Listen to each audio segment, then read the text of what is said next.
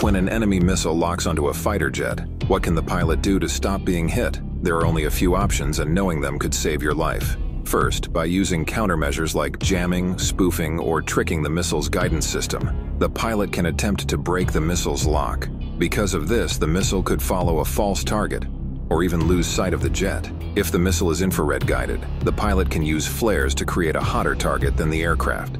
But the pilot could try to outrun the missile by creating as much space as possible between the jet and the missile.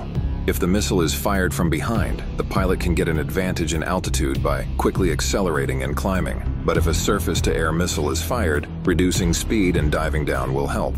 This can make the missile lose speed and energy. The third option is to pull off an evasive maneuver. The pilot could try to fool the missile's guidance system by performing evasive maneuvers, like sudden changes in direction, speed, and altitude.